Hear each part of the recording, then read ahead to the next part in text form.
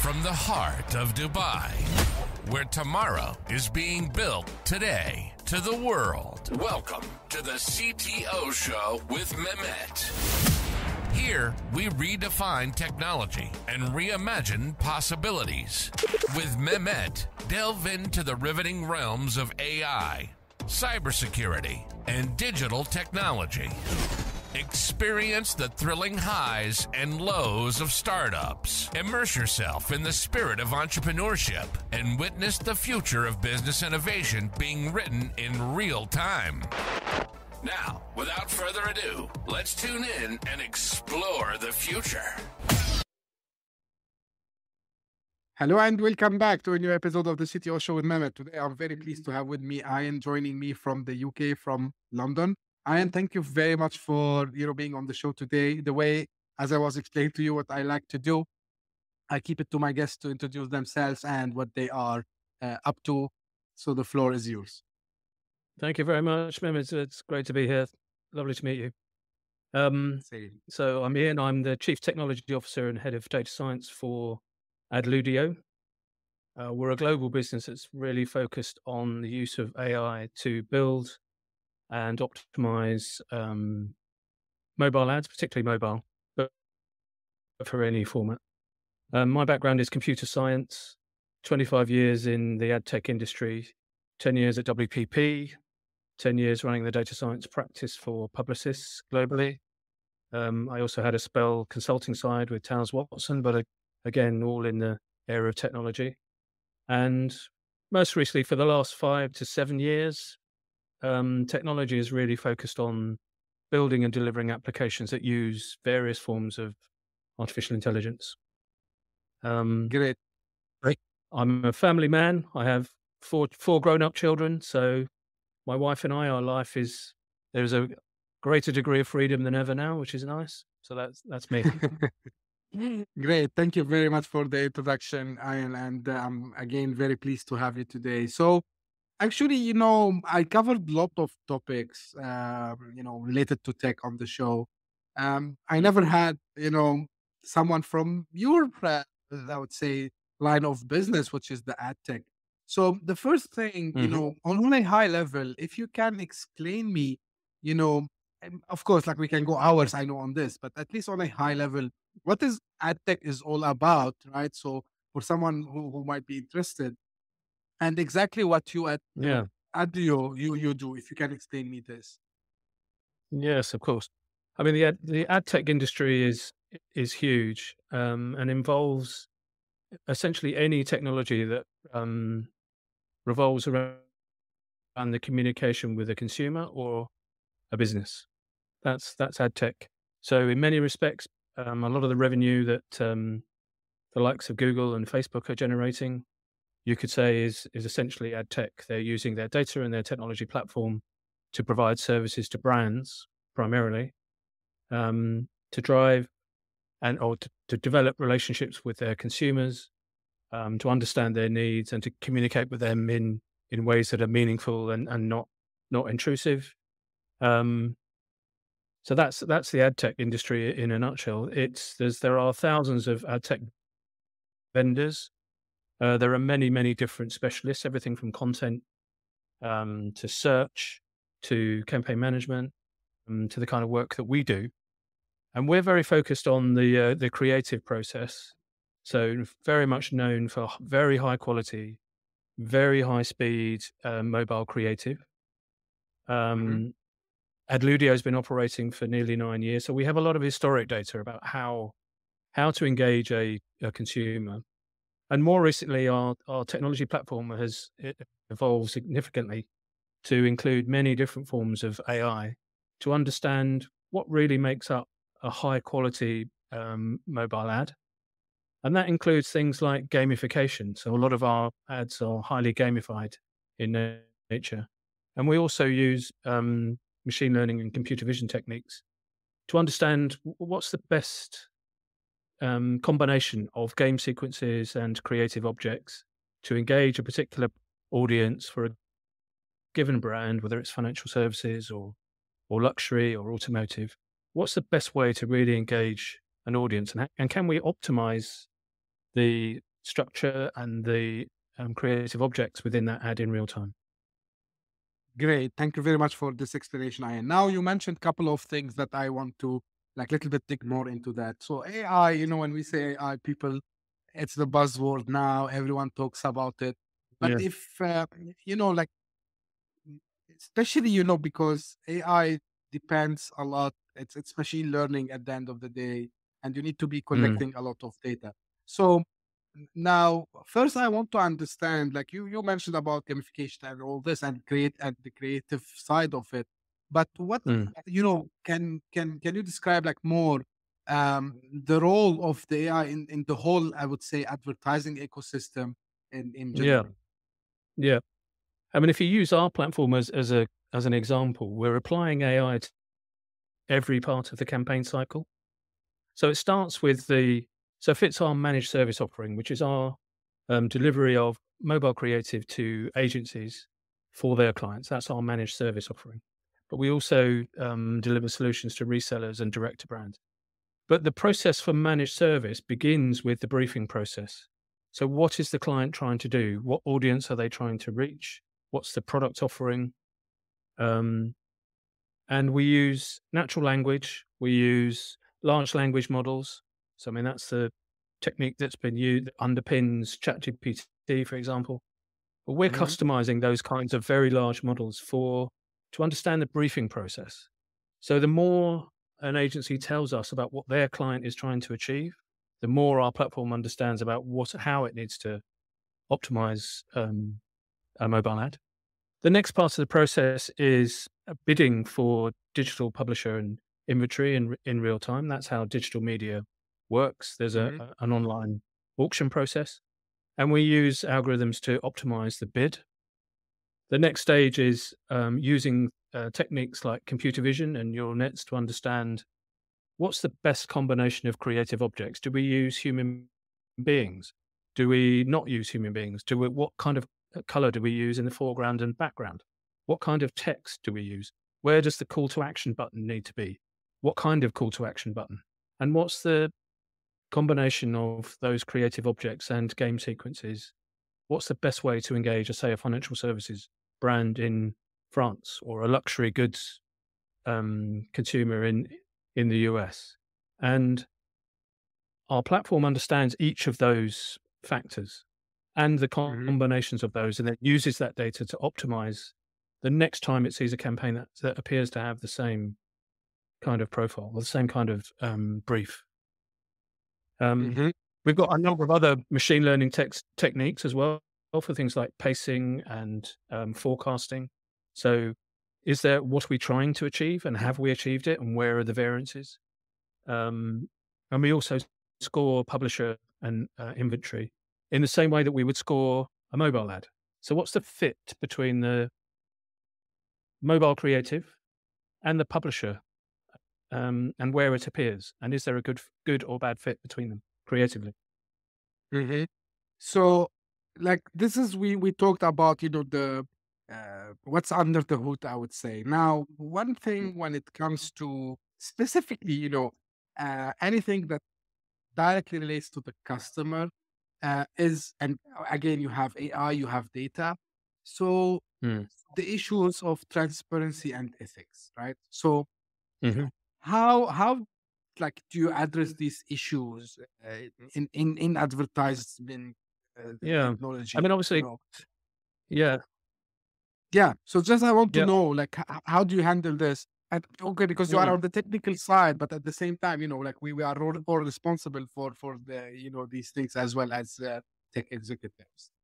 yeah. Obviously, and and obviously, we're all consumers at the end of the day. So, privacy, GDPR, information security are are very important topics now, and with such a focus on AI, there has to be a balance between the power that AI can bring and the privacy that um, the protection that we need to give to consumers and and to to businesses for that matter.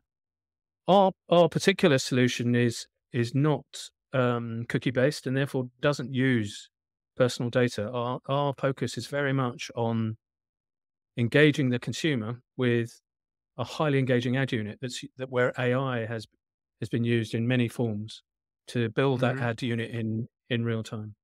So we don't process personal data um, at all, and um, if there's any personal data being used, it's the data that belongs to the client, and therefore they are responsible for um, the gathering and um, storage and security of that of that data. Um, because bear in mind that a lot of the activity that we do is pushing a campaign into um, DSPs, which is the trading the trading platforms for digital media.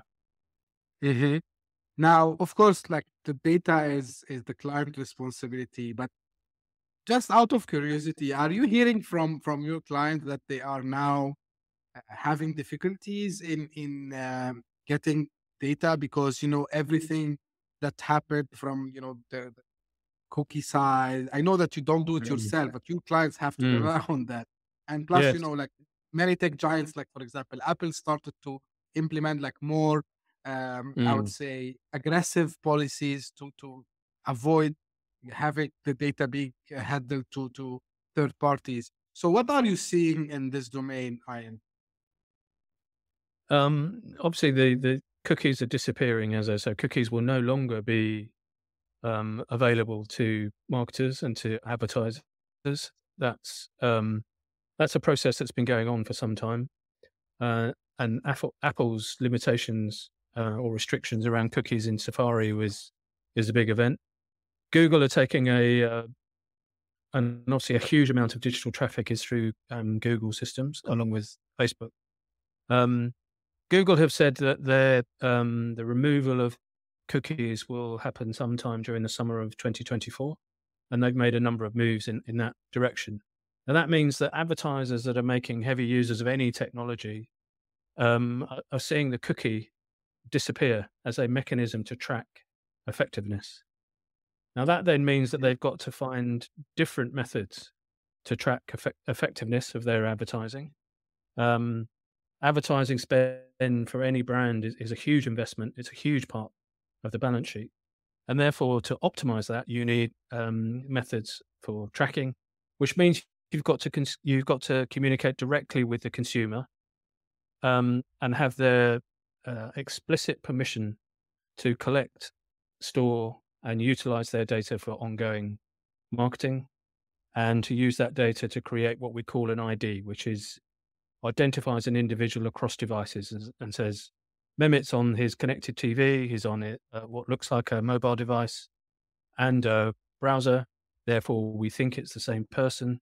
We attach an ID to that individual, but we need your explicit permission to communicate with you, to send you outbound messages, and to use your data and any data where you belong to the same segment, so individuals that have a similar profile to you, we have to have your permission. And that that's the the challenge that's facing advertisers right now is that trade-off between optimizing spend and protecting the privacy and security of the consumer. hmm Now, this is also, but at the end of the day, still with the um, you know consent, let's say, of of the consumer.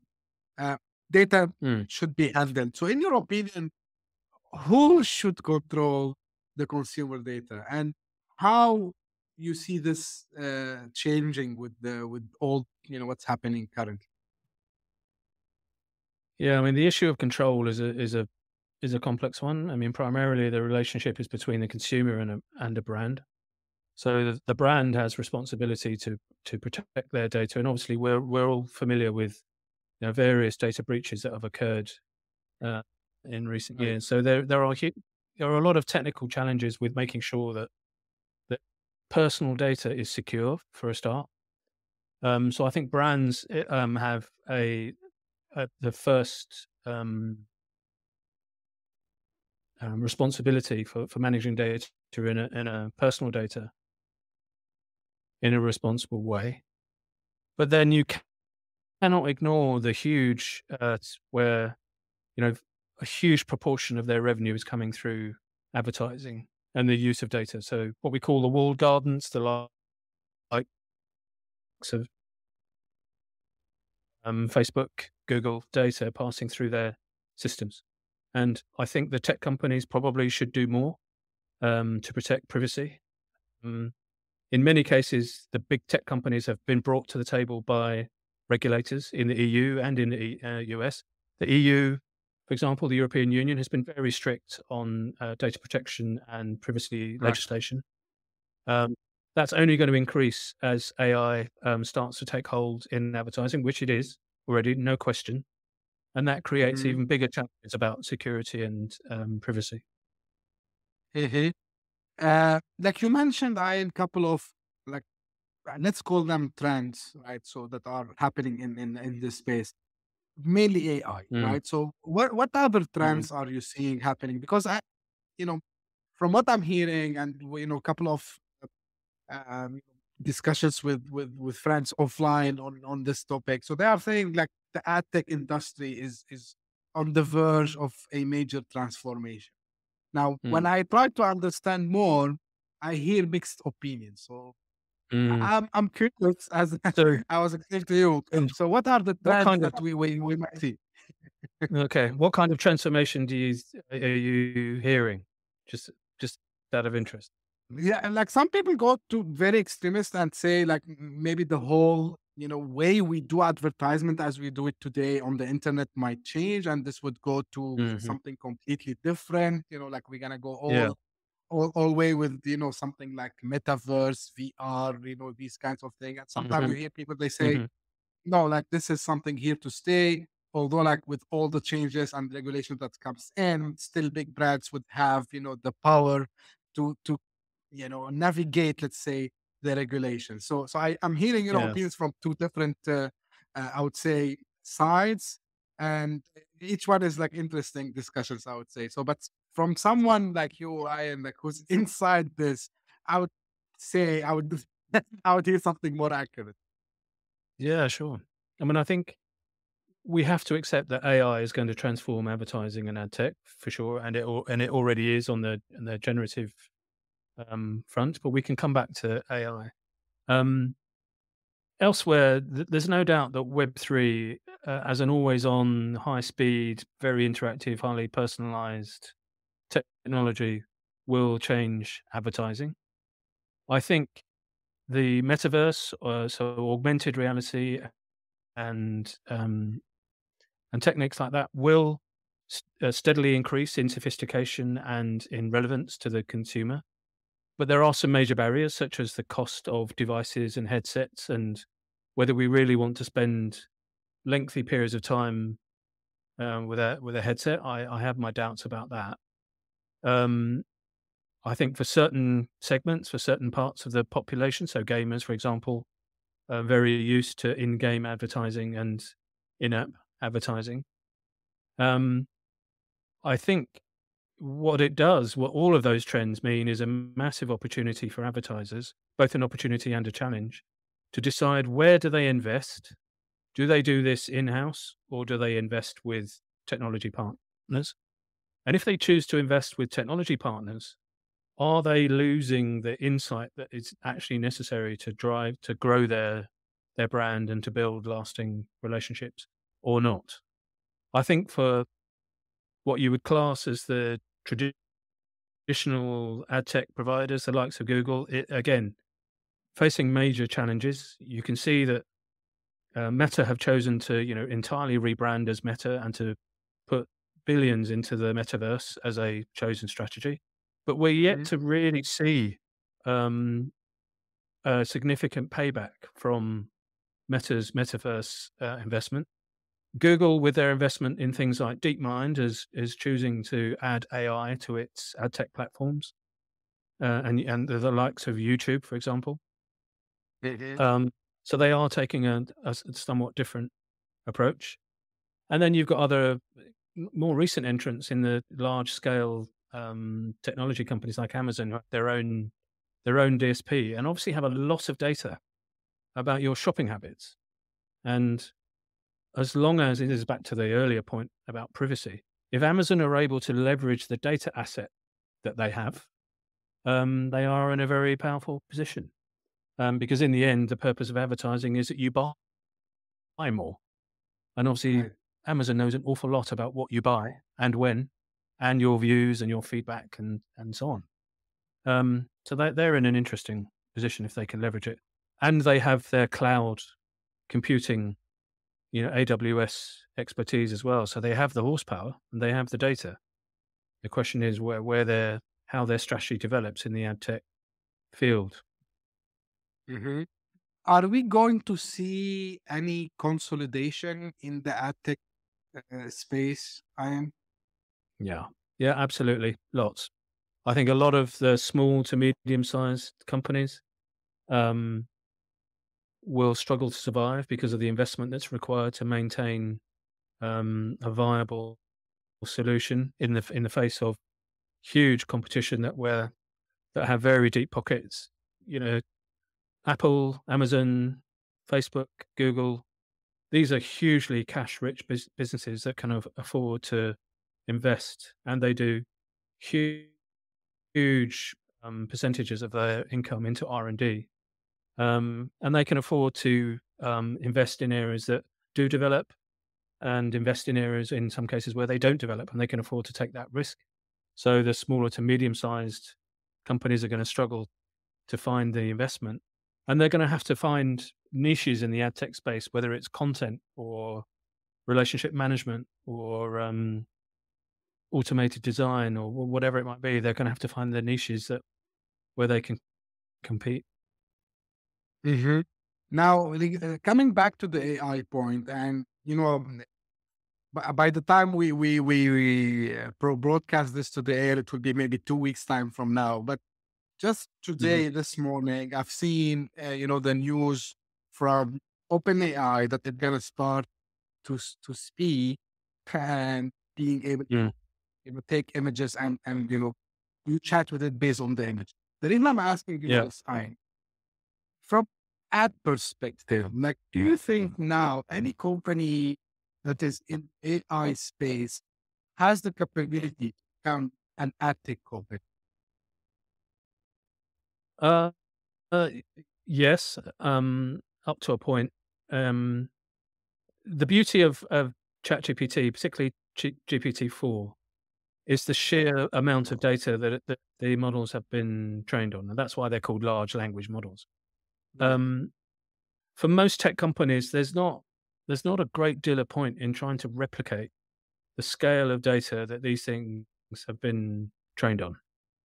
Um, in OpenAI's case, it's, it's, a little bit different for images. They're still training their models um, for image t- detection and um, production.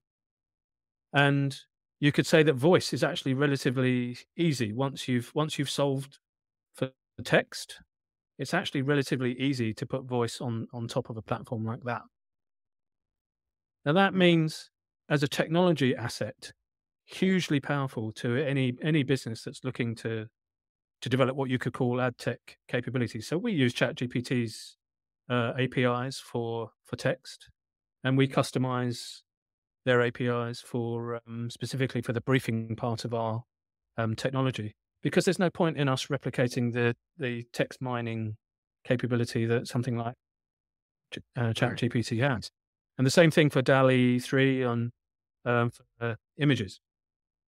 Um, but the interesting thing is that there's now a there's there's a hundred um, applications out there that will generate an image, you know what we call or text, yeah. and you can generate you can generate a film or a photo or a piece of text. Um, so that's the generative AI phenomenon that we've seen over the last year or so. That's going to continue. Absolutely no question about that. But my view as a technologist is that that is, is not is not particularly clever. You can randomly generate a set of images as long as you've trained your model adequately on um, historic data. What's really meaningful is which image do you actually need for the application that you want to put it to? And how do you decide which image is, is most relevant? And that means understanding the data that's connected to a combination of images. That's far more interesting. It's far more challenging, and is definitely the way the ad tech industry will will progress.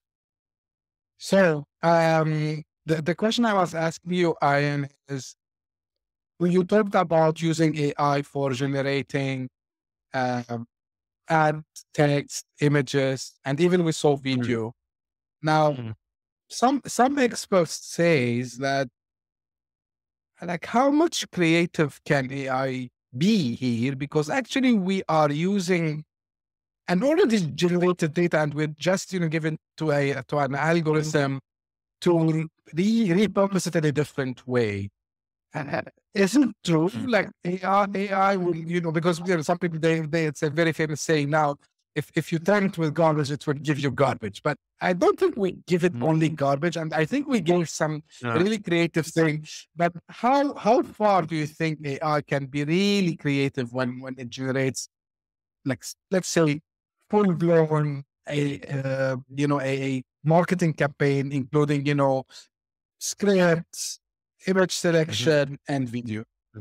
hmm I mean, the the answer to that question is th- th- there's there's no question that um, AI can be used to deliver the entire campaign cycle and all its associated content across all channels, as long as the the channels are connected, and the and the return path data goes back to the underlying algorithm. Um, what's needed is is technical integration of different media channels for a start, which means all the data that a set of models might see are integrated at some point, and that those models um, include machine learning in some form, or techniques like what we call reinforcement learning. That means we're effectively rewarding a model for its ability to achieve a, a certain result. Um, and we use neural nets for uh, for the same purpose. And it's actually the same technique that Tesla is using for um, driverless cars for their FSD version 12. Is a neural network that's learning about the data that it's um, it's receiving in real time, processing that in real time to enable a car to make decisions. And really, what we're talking about here is is is very much the same technique, but being applied for a completely different application. Um, so no doubt in my mind that over time we will see um, the script, the content, variations of that content um, being generated in real time with increasing levels of relevance to the consumer, um, and machine learning effectively taking over um, large parts of the uh, production cycle in for for advertising. Where where there are some limitations is you do see instances where creative agencies invent a, a crazy idea for a campaign that um, somehow resonates with an audience, and that's that's probably the most interesting area. At what point do computer vision algorithms learn really really innovative um, concepts? Let's call them that for campaigns that um, where it's not been exposed to that kind of data in, in the past. That's the that's the tipping point that we're not really seeing yet, but it, it will come. And it's neural networks that will really drive that. How long do you think it would take us until we reach this? Like, or let me, if I want to rephrase the question, like how this space would mm-hmm. look like in, in Mm. after, let's say, I don't want to say five years mm-hmm. because you when I you say five years, it's too long. Let's say in three years or two Too years long. time. Mm, yeah. I think in in two to three years we'll certainly see a number of campaigns that have been in, entirely automated and have been proven to be faster and more relevant to a given audience. We'll, we will certainly see that, and I mean every single aspect of the campaign and end to end, including just multimedia um, delivery across media channels. Um, like you mentioned something about, you know, cloud and spendings, and maybe it's, you know, as a CTO as well, you might uh, Mm. give us some insights. So, where are you seeing, you know, the the the technology spendings heading, you know, in the near and long future? I mean, most organizations, including ours, um, are not processing data on premise any longer. It's cloud based. Um, there are organizations that run on premise, you know, the highly regulated industries, for example, may Mhm. run on pre- on premise databases and um, cloud-based infrastructure. We are in, entirely cloud-based ourselves. We use AWS. We're not multi-cloud. There are some organizations that are, are multi-cloud. There are some ad tech providers that have to be multi-cloud um, because there are some some brands that will say, well, we don't want our data going through Amazon because we're a retailer, so we don't we don't want to see our data going through AWS, or we don't want to see our data going through Google's platform. So therefore, you do see ad tech companies that are multi-cloud, so they'll have Azure, AWS, and Google Cloud. Um, so that's mm-hmm. increasing. Um, yeah, but it's one it's one of the reasons that's one of the things that's fueled AI in the last year or two is the compute horsepower has increased exponentially and the cost of that horsepower has has dropped significantly. And that means the amount of data that we can process cost effectively has increased significantly and that's an absolutely crucial aspect of the growth in in AI is compute horsepower and the cost of that processing mm-hmm. And, uh, you know, out of curiosity, how much is important, especially for ad tech companies, to invest in solutions like data analytics and, you know, these kinds of, of solution and data mining maybe also? Oh, it's it's essential, and it's it's um, in technology these days. The um, the best career path is data science, so data engineering, um, data science, machine learning ops are huge growth areas in terms of career development. So, you know, brands have to invest in data science as a discipline. Ad tech companies obviously rely on on data science as a discipline, so they have to invest in those in those skills. Um, I think the interesting question for brands is how much of that expertise do they um, add in house, or how much do they rely on partners? And mm-hmm. I think for the large, large agencies out there, they're at a real tipping point. AI is is going to continue to cause them some uh, um, strategic pain, let's call it that, um, where they've not really, the large agency networks have not really invested in data science as a discipline. And the knock on effect of that is that they've not been developing the repositories of data that they can then apply to AI going forward they've been somewhat left behind. Yeah. Um, you know, as we we are coming to, to, to the end, just now, I target CTOs and I target also, you know, to be founders or uh, like uh, new founders, let's say. Uh, from your mm-hmm. experience, mm-hmm. I am like uh, you, you've you've been in in this for for a long time.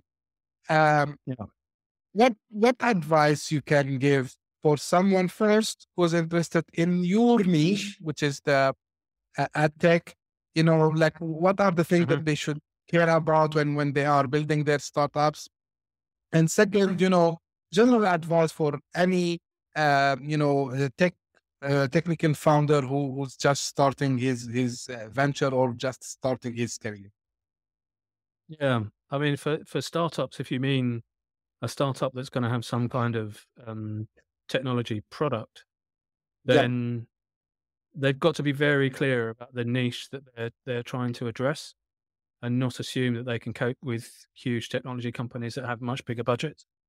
Um, and then they need to be very clear about what their go-to-market strategy is. How are they going to reach the audience for their their chosen product? And and most um, technology startups completely fail at this. They misunderstand the niche and then they don't adequately understand how to take their product to market in a very efficient way.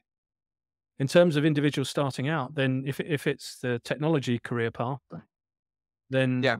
absolutely learn things like go open source, learn things like TensorFlow and um, uh, Python, things like PyTorch, um, but also things like prompt engineering is going to be a major area of growth in the technology space over the next year or two. How do you configure prompt-based systems to uh, to provide intelligent answers to very complex questions? So we call that prompt engineering. It's a it's a big growth area. Um, but make sure that you've got a solid grounding in maths and statistics. Some of these are the underlying equations in AI. Some of them are quite complex.